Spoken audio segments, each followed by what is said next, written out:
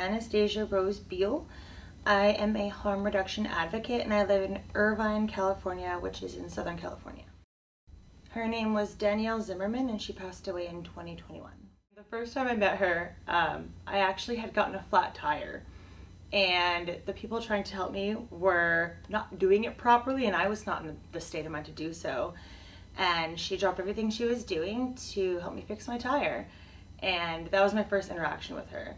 And throughout the years, every single time I interacted with her, it was just, hey, how are you doing? What can I do for you? Is there anything you need? She was like rave mom. So she was a sweetheart, absolute sweetheart. So Danielle was at a underground music event here in Southern California in Bakersfield and she bought what she believed was cocaine and it turned out that it wasn't. And what makes her situation a little bit different was that she bought, I, I believe, about two, maybe three grams, and she actually did some at the event. And her and her friends did some, and they were perfectly fine. Um, she didn't end up finishing the cocaine at the party, so she brought it home. And the next morning, she woke up, wanted to do a quick line, you know, to get her day going, and um, she did a really big line, and it turned out that it was laced with fentanyl, and she passed away. And it was very, very devastating for everyone. We were all very confused. We were very angry. We wanted to know who to blame. But um, it was a it was a pretty long investigation. But uh, myself and four of our friends, um, after that experience, we got really, really motivated to to get involved and to help others not experience the same thing.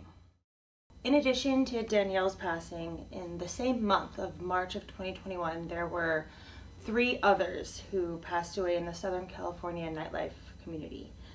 And every single time we went to a memorial or a funeral, our friends would say, we're gonna start checking our drugs, we're, this isn't gonna happen again. But it did, again and again and again. And so my, myself and three of my close friends, we just started bringing reagent test kits and fentanyl test strips to the parties that we were attending so we could at least take care of our immediate friend group. So, you know, we at first it was just hey can we can we test your, your drugs really quick guys? Like if you're gonna do that like let us check it really quick. And then um, we got a table we got a crappy canopy from Walmart and a very abrasive banner that said free drug checking. And we just go to parties and we check people's drugs and make sure they know what they're taking. It's okay if your ecstasy has methamphetamine in it if you're okay with that. I'm not okay with that but maybe you are um, maybe your cocaine has Adderall in it, and that's okay for me, but maybe not okay for you. So we just want people to know what they're consuming so they can make valid choices. So since Danielle's passing and all the passing of my other friends since early 2021, we always check our drugs at parties and we advocate that you can trust your homie, you can trust your friend without trusting their drugs. I always try and tell people the real way that cross-contamination happens. I try and give them a visual explanation of how fentanyl is getting into heroin, for example, but mainly how it's getting into party drugs. I, I try and explain that no one is intentionally putting fentanyl into party drugs. What's happening is cross-contamination, where there's reckless dealers or people using the same bag that they used before, and trace amounts of fentanyl are getting into drugs like cocaine and ecstasy and all these other party drugs and it's causing people to overdose. And they aren't even opiate users necessarily. They're just using party drugs. So I, I try and teach people what happens and why it's getting into drugs and then how to deal with it by teaching them about naloxone also known as narcan Kloxxado. And I give them what I call a crash course training on Narcan so they can at least take care of the people around them. So I put two Narcan nasal sprays on a retractable ID holder and I carry it with me everywhere I go. Grab my phone, grab my wallet, grab my keys, grab my Narcan.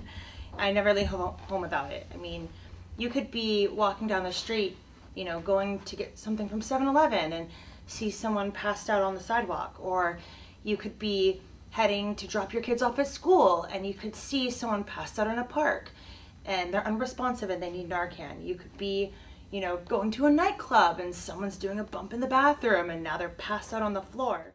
I was at EDC, the uh, festival in Las Vegas, one of the largest EDM events in the country.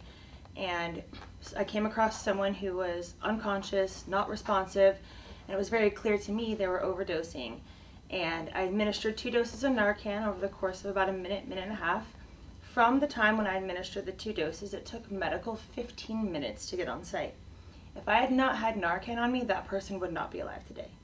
So I always advocate carry Narcan, carry Narcan, throw it in your glove box, throw it in your trunk, throw it in your medicine cabinet, underneath your sink, forget about it. And hopefully you never have to use it, but if you do,